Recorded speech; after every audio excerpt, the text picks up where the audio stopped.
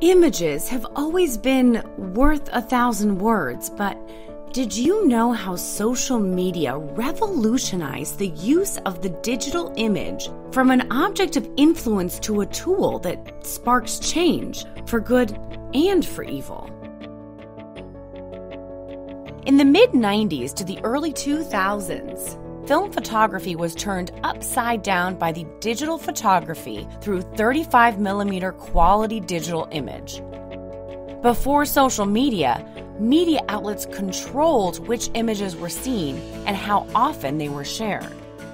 We relied on the media to tell us which images were the most important ones, and those became the iconic images of our time. Now, with social media, everyone holds the power to influence with images. How does that work? Consider Facebook. Each image we share becomes our own personal documentary, with our friends' reactions, shares, and comments. Our timelines become filled with these contextual timestamps that build up over our lifetime, allowing our personal stories to become part of a massive collection of shared history. With this new sea of imagery, how do some rise to the top to become a tool for change? One thing hasn't changed. Images that spark emotion tend to hold the most power.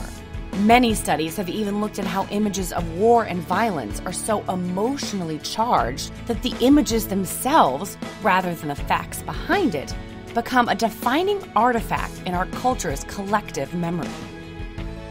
Within the context of social media, this power can be wielded for good or for bad.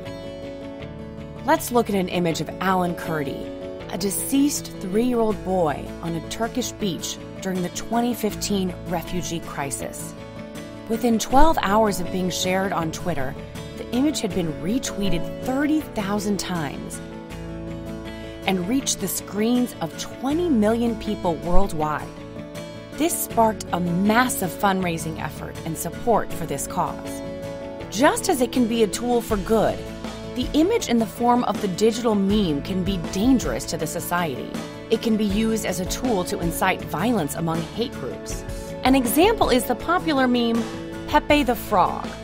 Facebook has taken steps to ban the iconic meme used in the context of hate it's important that we develop real time ways of tracking fringe group activity through hateful meme sharing.